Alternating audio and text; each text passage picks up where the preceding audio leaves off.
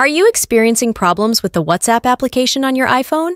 If WhatsApp is slow or glitchy, then you can easily fix that issue by clearing the cache of the app. This will work on any iOS version and on any iPhone model. And then first step that we will do is to open the settings on our iPhone and then tap on the General section.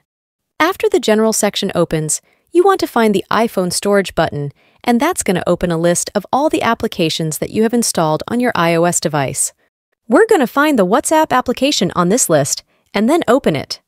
You're going to see the Offload App and Delete App options, and what we're going to do is to click on the Offload App option, and this is going to clear the cache of the WhatsApp application. It's going to delete all of the unnecessary data that your app may have, and after offloading, just click on the Reinstall option and then wait a couple of minutes until the latest version of WhatsApp installs on your device.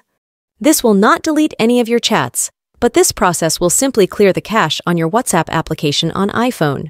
After this step, you shouldn't have problems anymore. Thanks for watching everyone, and I'll see you in the next video.